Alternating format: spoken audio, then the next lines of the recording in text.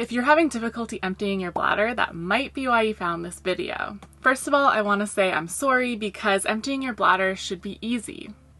My name's Krysta Norwick, and I am a physiotherapist with extra training in pelvic health. Pelvic health encompasses your whole pelvic region, which includes your bladder function. So let's dive into it. You're having a hard time fully emptying your bladder. If you're not sure if that's the case, sometimes it'll feel like you have to push your bladder, so really push to squeeze out whatever's left in your bladder. Sometimes you'll sit and it'll take a long time for your stream to start. Sometimes you'll go and then stand up and leak a little bit or feel like you have to sit right back down to empty again. And if you stand to pee, sometimes it'll feel like you can't empty standing, you need to sit down, and you maybe need to try a few different times in order to empty your bladder. Those are all different reasons that you might feel like you can't empty your bladder. Next, I'm going to explain to you how that process should work normally. So I have my pelvic model here. Your pelvis is the bone at the bottom of your trunk. So you've got your pubic bone at the front, your lower back, sacrum, and tailbone at the back. And if you look from below, you have your two sit bones that you sit on. So if you rock side to side, you should feel your bony sit bone. In that area are the pelvic floor muscles and your genitals. These muscles are depicted in red here in this model. Your bladder sits just in here. So this is a little model of the bladder. And this bladder will expand as it fills with urine and then constrict when you empty. So this can expand and constrict quite a bit. It's very, very cool. The bladder is regulated by the pelvic floor. Let's talk about how that happens.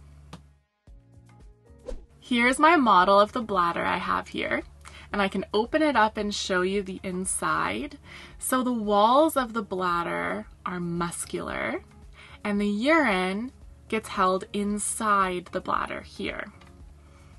It looks the same on the underside of this top.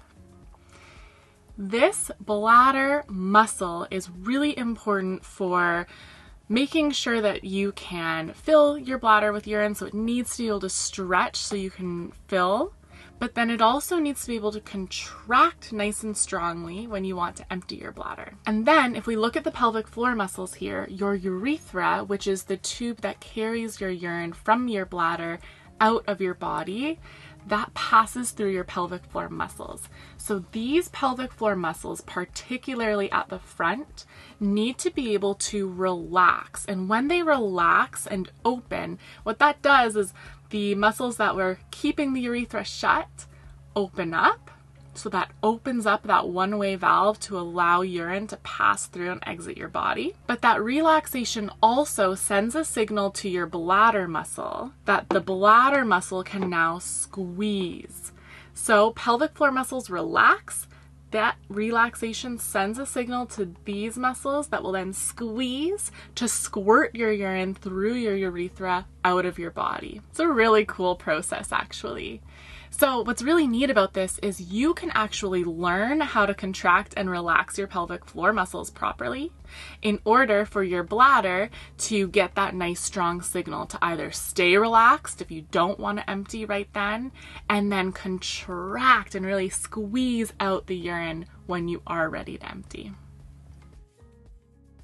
Let's talk about how you can fully empty your bladder. Now that you know how this process works, you know that in order to empty your bladder fully, your pelvic floor muscles need to be able to relax completely. That relaxation allows your urethra to open up, and that relaxation sends a signal to the bladder so it will squeeze its walls and empty urine. And so, the best way for you to start to actually learn how to empty your bladder better is to learn how to relax your pelvic floor muscles better.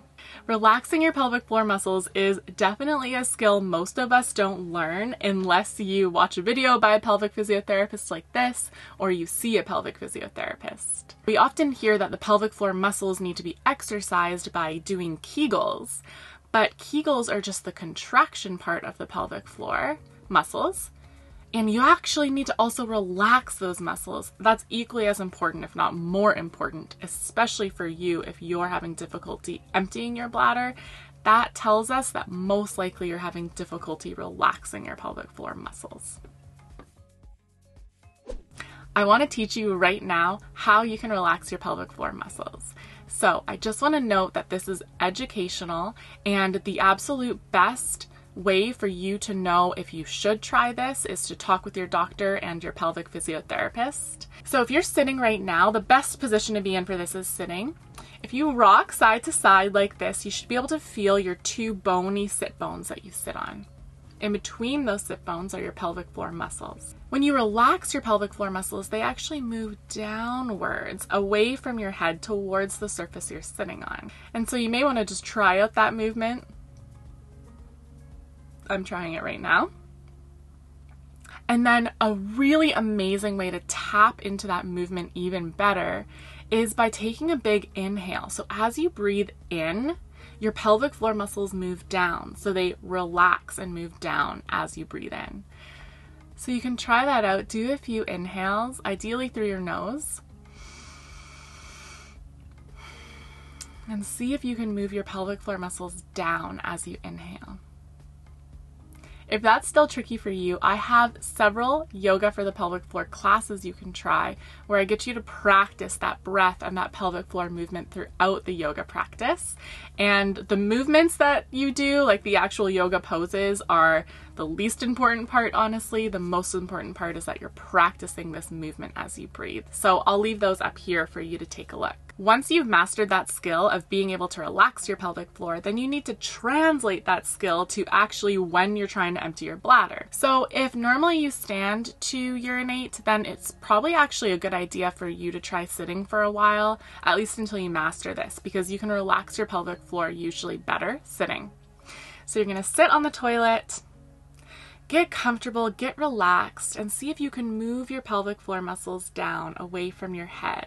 You can imagine that you're opening your urethra, moving those muscles down. And as you inhale and you're sitting there, maybe you can move them down a little bit more, a little bit more. And sometimes you need to wait for a bit of time. It will take time usually for you to practice this before the process gets a little bit better. So before you're able to really relax those muscles and then give the bladder that strong signal to squeeze.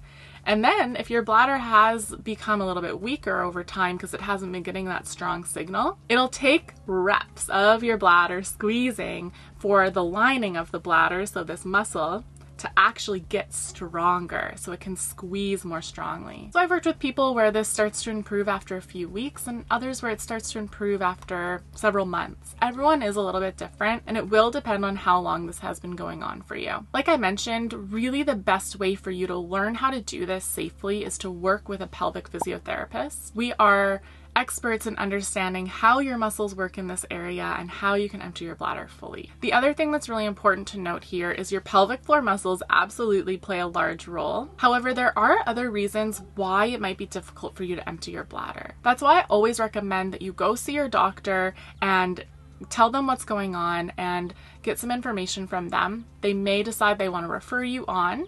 And then, depending on where you live, it's also a great idea to go see a pelvic physiotherapist who can assess your muscles and actually tell you if your muscles are involved. There's a chance that, say, if I did an assessment with you, I might say, actually, you're using your muscles just fine. And that gives us lots of information to think, okay, the muscles might not be the factor.